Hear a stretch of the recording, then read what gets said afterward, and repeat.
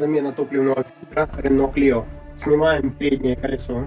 Вынимаем 4 пистона, чтобы снять подкрылок. Кручиваем два винта с нижней стороны. Снимаем пыльник. С помощью головочки на 10 снимаем защитную пластину.